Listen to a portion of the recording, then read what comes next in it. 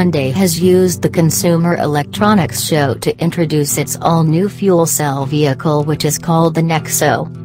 Described as a technological flagship, the Nexo is a stylish crossover which is a key part of the company's plan to introduce 18 eco-friendly vehicles by 2025.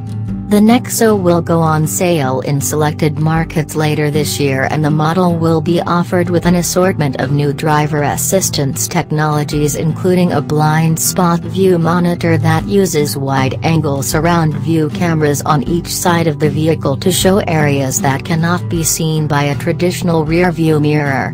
Images from these cameras will then be displayed to drivers on a center cluster screen. The Nexo will also become the first Hyundai model to offer lane following assist.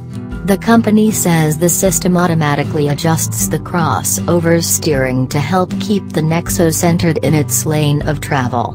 Another notable feature is the highway driving assist function which uses sensors and map data to automatically adjust the Nexo's speed.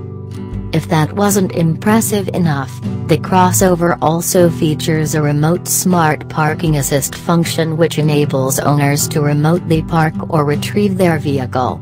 Hyundai didn't say much about the system but stated when faced with any challenging parking scenario, Nexo drivers will be able to park with complete confidence and accuracy.